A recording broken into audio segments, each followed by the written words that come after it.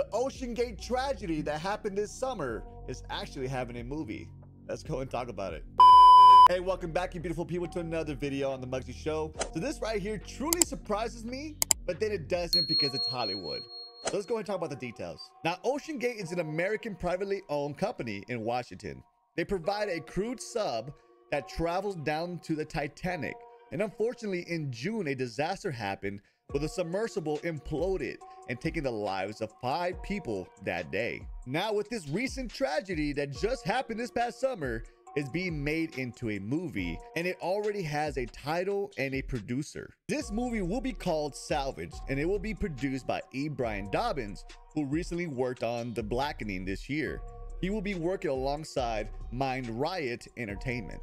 Now, it was reported that this film will be covering events from before, during, and after the five day tragedy. Mind Riot founder Jonathan Keasey said, Our film will not only honor all those involved in the submersible tragedy and their families, but the feature will serve a, as a vessel that also addresses a more macro concern about the nature of media today. Also saying that the Titan tragedy is yet another example of misinformed and quick to pronounce system, in this case, our nonstop 24 7 media cycle that convicts and ruins the lives of so many people without any due process. So there you go, guys. Those are just some of the details of the Ocean Gate tragedy movie. It's gonna be called The Salvage, and it's gonna be about the you know, before, during, and after the tragedy. I wonder if they're gonna go a little, a little bit more into depth about Ocean Gate as well, because they said that the apparently the the subs weren't up to code, and they re really weren't allowed to go all the way down to the Titanic,